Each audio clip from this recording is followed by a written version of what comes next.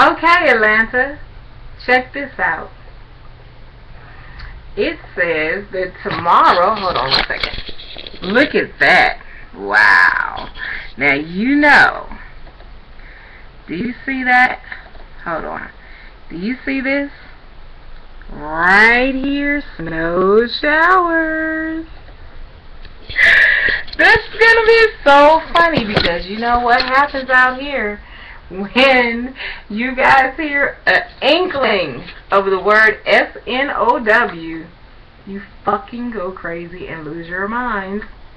So I just expect for all the stores to be completely empty tonight because there's supposed to be snow showers all the way down to Macon, which covers basically the north, the middle, and part of the south, the beginning of the south part of the state.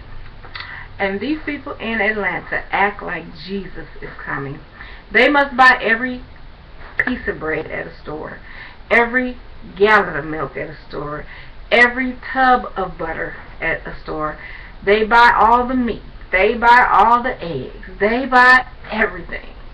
It is the funniest thing. If you ever want to see something funny, just look at your weather channel and try to be in Atlanta. If they say snow, I bet you it won't have one drop of snow tomorrow. But just the fact that they think there's going to be snow flurries, they're probably going to pull out all the snow trucks for snow flurries.